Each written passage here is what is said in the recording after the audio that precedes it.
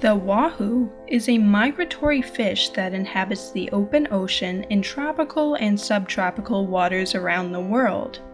They are among the fastest fish in the sea. Their bodies are blue on top with vertical bars on their sides. They typically travel alone or in small, loose aggregations. They like to congregate near drifting objects.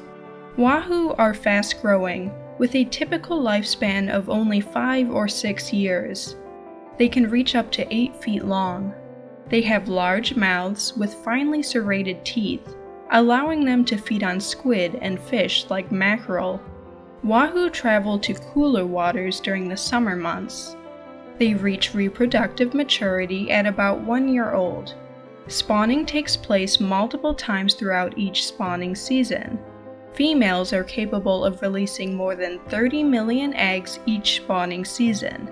Wahoo are good food fish that support both commercial and recreational fisheries. Annual catch rates have increased over the last few decades. Silver-tip sharks and other large predatory fish prey on wahoo. For more marine facts, click the subscribe button.